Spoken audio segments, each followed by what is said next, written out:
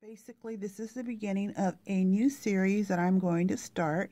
I'm going to show you how I, well, this is one of the places I ordered from that I ordered because I saw that she had some doilies, and I have a lot of doilies, but I saw she had some that were unique, that types that I would use for um, making flowers, and I have plans to make some beautiful flowers. This is where I ordered from, C&C Crafts and Antiques, Sierra Miller. And um, she has an Etsy store. Is it Etsy? Yes, it is. And I think she has an Etsy store. But I will put links to her in, in my description box. But look what a simple thing she made. This is so cute. Look, a little flower. And she just put it on a piece of a star so adorable. And she put that as a gift including this little purple one flower. of the reasons I ordered is because I'm planning to make flowers but I want to show you some of the things that I found. And uh, look at this. I didn't even realize this was so beautiful when I when I ordered it. And I when you order doilies a lot of times they're they're vintage and there could be staining on them and um, I do know that. But look at this. How simple these flowers are going to be for me to make because they're already pre-made they're just, it's loaded with blues and pinks of beautiful flowers. I'm actually going to take this one and I'm going to separate it and I bet I come up with a good 50 flowers off of this. The little flowers are about, ah, looks like they're a little bigger, larger than an inch.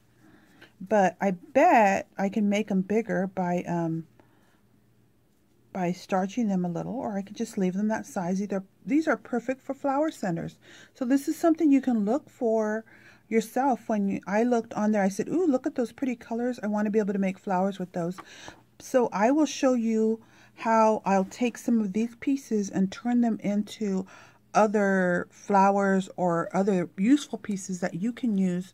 And that's what my goal will be in these um, taking doilies and turning them into flowers and turning them into functional pieces um, for your crafting. And I know a lot of you already have those ideas and know how to do that, but some of you won't. Since maybe some of you will learn something new. And the other thing I'd like you to do is that comment below my videos and give me your ideas of what you do because that way I can include them in future um, parts of my series. So I am open. I, I this is one of the things that I'm planning to do. And so in I didn't you could see when she does she does a photo and you see everything. I didn't realize how much was in the package I was ordering. I am a crocheter, so I appreciate crocheting. So look at this stack of crocheted, like they're like pieces, I would say as a crocheter when I was going to make an Afghan. I made these pieces and then I would attach them together to make something out of them. But um, there's different uses that I could do, use this for. And this is actually real, this is like a soft yarn. So you can actually, I can actually take these and make, attach them together and actually make a blanket. A little mini baby blanket if I want to because I do understand how to do that myself. You basically would sew these together or I can add another row around it and then kind of make it my own. So these are already pre-made and they are actually very well well made. There are, I don't know, what size are these squares? So these are things that I'm just showing you because they're things you can you can do with a variety of things that you might have hanging around or you might find and say, well, there's nothing. These are about a seven inch square. So they would make a nice um, little small blanket there are one, two, three, four, five, six, seven. There's eight of them. I can't believe how many there were. And or I may I may try to make a flower with them also so I can show you what you could do with something like this. So I didn't even know this was all in there. And then I had this, this is just gorgeous that was in there. And this is actually, um, it looks like a trivet. It has a little, it's made with a little hook on it. Because that's what you could do with these also. You can actually um, attach two back to back and it could become a pot holder because um, it has a lot of holes to be a pot holder by itself so you, it need to be doubled up. Or you can attach it to a piece of nice thick cotton and sew it on something like that. But so this one look at the degrees of beauty this has in it. It has this handmade piece that somebody added. And it has greens, it has pinks. This can actually be turned into a flower and then it has um, this beautiful flower that if you would want to use it on a project. But I'm actually like this so much, I'm actually going to put it in my kitchen because I like vintage items and I appreciate them and I love the colors of this. It has very subtle, the pinks are not overwhelming and it has some green in it. So I'm going to keep this, but if I want, I can always um, and I can all I I can crochet well enough that I can take this and I can look at it and I can duplicate this.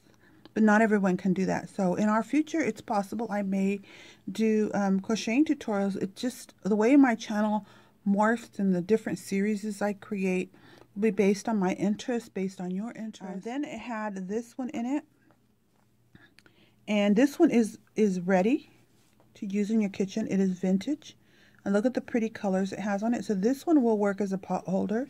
It's doubled up, but it'll work as a pot holder because it's so thick. And then it has a place, a way to hang it. So I like that. I'm going to hang these in my kitchen, actually. I like vintage things. This, this kit was not very, this set was not very expensive. And then she has these gorgeous little, this is a very light piece, very light. And um, like I said, I had in mind to make flowers with some of the things that I saw. So I may you may see me use this in the future. And she had all of the those doilies on top of this. And of course this is you can see it's vintage. There's a little small stain there, which I don't mind. I can use this in you can use this for any reason. This would be a wonderful it's a it's a round table tablecloth and it has um this edging on it that looks a little bit tattered. See that? And then in the center here, it has this beautiful doily. And it has tea staining on it. So guess what would do? This looks like it may be cotton. It would be beautiful if I would tea dye the entire thing. So I just might do that. I don't know. And I can use it on a project. I, I, look, I think it would look really pretty tea dyed and used as a Christmas tree skirt. So a lot of tablecloths that you get crocheted would look beautiful as a ornament or decoration during the holiday seasons. Let's see what else. Okay, so that I had more than, than this is another doily. So it's very light, but it feels like it's a little bit starched. It's very open. But this is the one I actually saw that I really like the colors. And I wanted to get something like this with these fringy fringy colors. See, this is almost like a teal color. And I want to be able to make flowers with it. I want to show you how. You can see that right in here, there's actually a single flower right there. So how simple is that to cut that out as kind of like this one and actually just make them flower centers. Very simple, easy, a way to save money.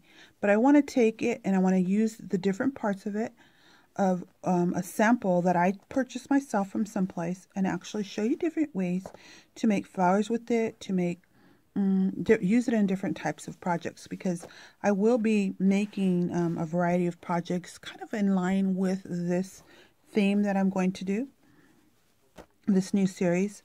And so uh, this is how I wanted to start my series by showing you some of the things that I was able to just find online from a fellow crafter. If you don't have any, she just sell. She doesn't only sell um, doilies and things like that. She also sells um, pieces of wedding dresses that she's actually um, taken apart. She's started. She recently started kits where she's actually making small kits and then you know selling a small amount of kits, which is wonderful because that's what a lot of us like to see. Some of us to keep your sharp eye out to when you can find cool deals um, of vintage items from your fellow crafters. I like us to support each other as um, small crafters and that's what I've done here. I purchased her items because I plan to make them and I saw potential and I'm actually going to begin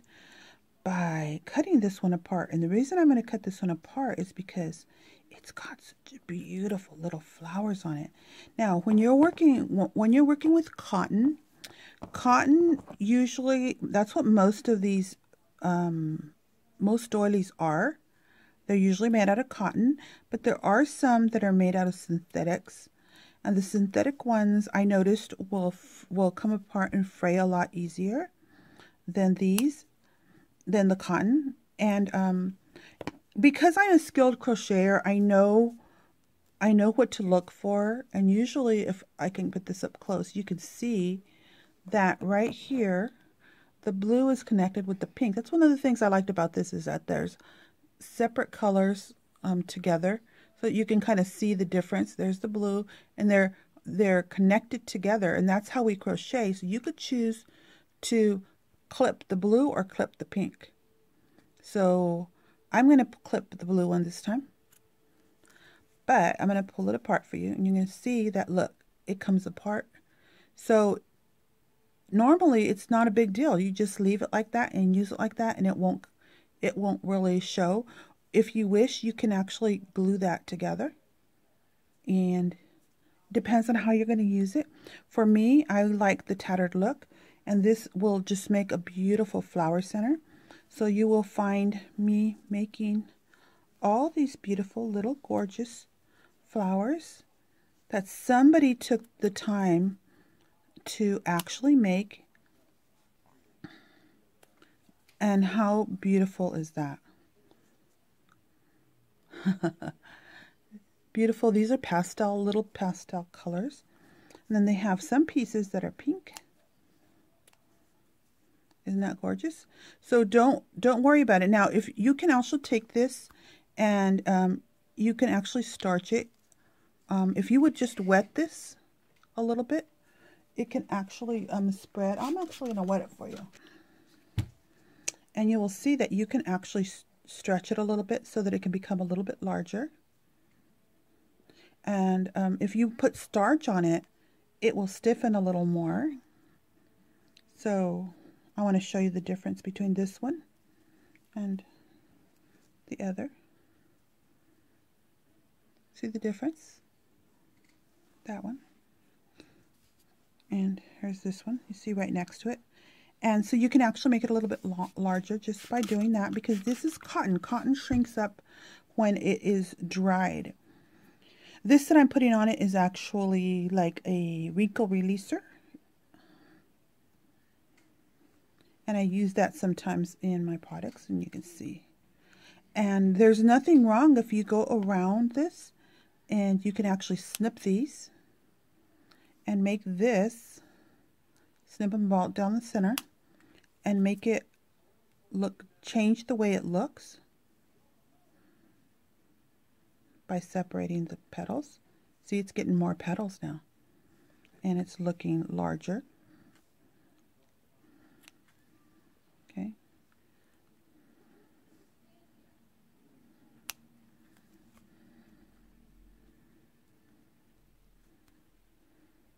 So that is tattering it up a lot more and look how it looks now. So there you go. Changing the sizes, changing the look. Now, next time I'll show you how to turn this into more of a bud.